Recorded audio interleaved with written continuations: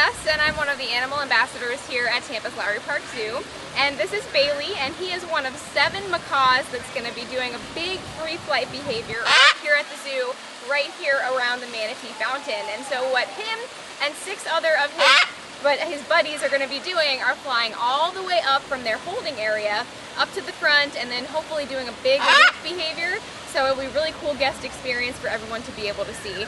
So some ah! of the things that are involved in training seven macaws to do a huge ah! behavior like this well, we got to start by doing one at a time. And so what we were just doing is some training with just Bailey so we can teach him exactly what he's supposed to do, make a loop around this area, and then hopefully if we can teach each bird what they're supposed to be doing, then what we can do is start adding them in groups and start doing two at a time, three at a time, and then eventually having all seven birds doing this big behavior.